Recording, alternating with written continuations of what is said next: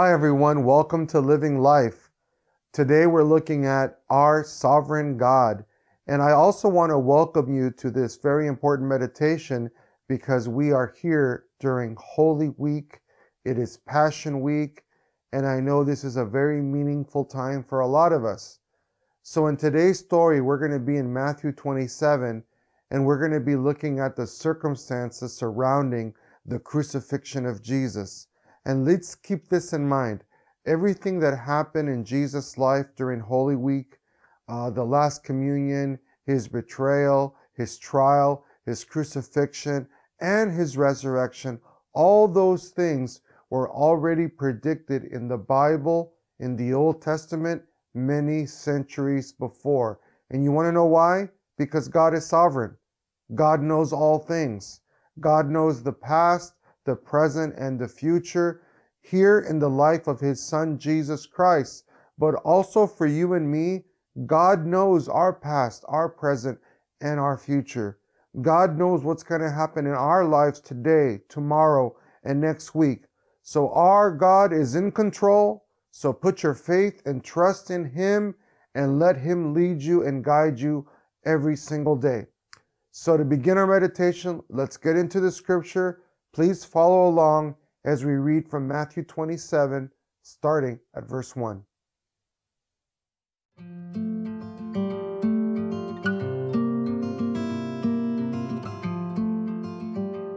Matthew chapter 27, verses 1 through 10. Early in the morning, all the chief priests and the elders of the people made their plans how to have Jesus executed. So they bound him, led him away, and handed him over to Pilate the governor. When Judas, who had betrayed him, saw that Jesus was condemned, he was seized with remorse and returned the thirty pieces of silver to the chief priests and the elders. I have sinned, he said, for I have betrayed innocent blood. What is that to us? They replied. That's your responsibility. So Judas threw the money into the temple and left. Then he went away and hanged himself. The chief priests picked up the coins and said, It is against the law to put this into the treasury since it is blood money. So they decided to use the money to buy the potter's field as a burial place for foreigners. That is why it has been called the field of blood to this day. Then what was spoken by Jeremiah the prophet was fulfilled.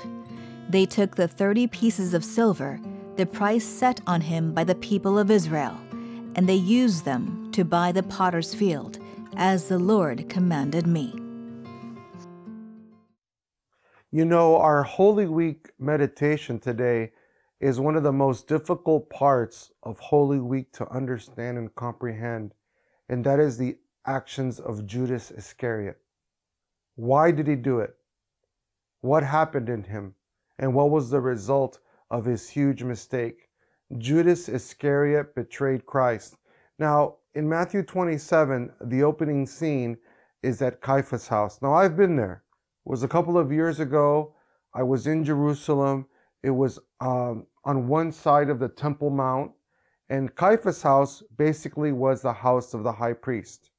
And when you go into Caiaphas' house, there is a prison room that is underground where they put Jesus. And right outside of Caiaphas' house is a courtyard where Peter denied Christ three times. So when Jesus was arrested in the middle of the night, the next day, early in the morning, uh, the high priest and the Sanhedrin sent Jesus to Pilate. When they sent Jesus to Pilate, Judas Iscariot realized that they were going to kill Jesus. It makes me ask a lot of questions. What did Judas think he was doing? Did he think that the high priests were going to slap him on the wrist? That they were going to send him back to Galilee? That they were just going to try him and reprimand him? But the Bible clearly tells us when Judas realized that they were going to kill Jesus and condemn Jesus, Judas experienced remorse great remorse. Now, biblically speaking, theologically speaking, there's a big difference between repentance and remorse. Okay? Repentance is when you uh, acknowledge your sin, you take responsibility, and you make an about face, and you change your life. Remorse is you feel bad, you feel sorry. So there's a lot of people in the world today when they do something bad that they feel bad and they feel sorry, but that doesn't matter. That doesn't do anything. So Judas felt a lot of remorse. He went back to the priests and he threw the money at them, the 30 coins of silver. Judas wanted to return the money and he wanted to undo what he did. Now, here's the fact of the matter we can't. When we make a mistake, when we mess up, when we cheat on our wife, when we steal money, when we commit a crime, right? We can't undo it. We can't wave a magic wand and like it didn't happen. No, there's consequences. We have to pay a price. And thank the Lord for Jesus Christ because Jesus dying on the cross, he paid the price for our sin. I've committed sins, you've committed sins, we've all committed sins. There's nothing that we can do to pay the price of sin. But you know what? Jesus Christ on the cross paid the price. So let's get back here to the story. So the priests and the Pharisees knew that they couldn't take the money back and put it back into the temple because the money was blood money. The money was used to kill a man, right?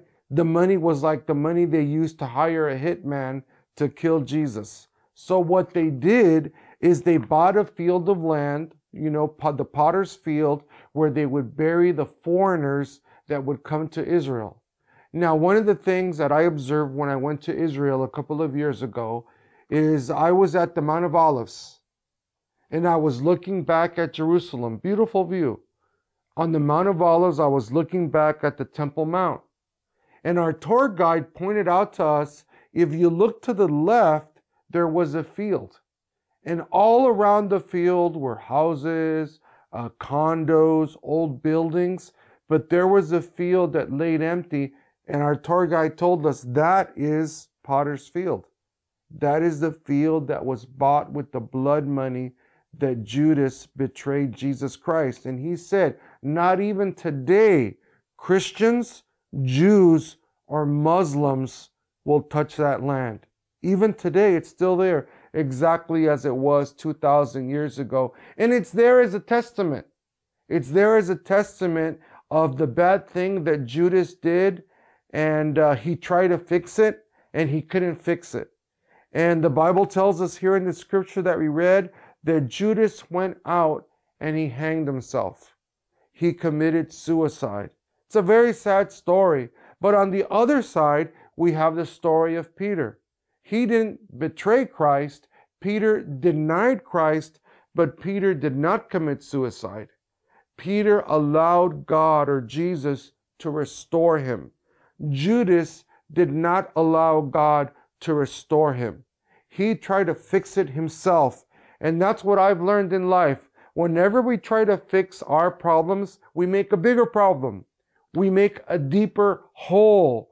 And what we need to do is we need to repent and not be remorseful. And everything that happened here in today's meditation in Holy Week was predicted. It's in the Bible, it's in the Old Testament, it was in Jeremiah. Jeremiah predicted that all this stuff was going to happen, and that demonstrates God's sovereignty. He knows our past, He knows our present, and He knows our future, and what's a beautiful part of the story is that God still loves us. So God loves you.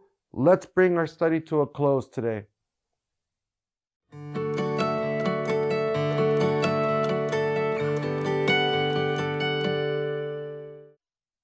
As we close in prayer today, let's just keep in mind that God knows our past, present, and future.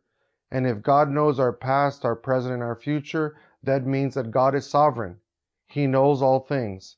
God knows when we're going to make mistakes. God knows when we're going to let Him down.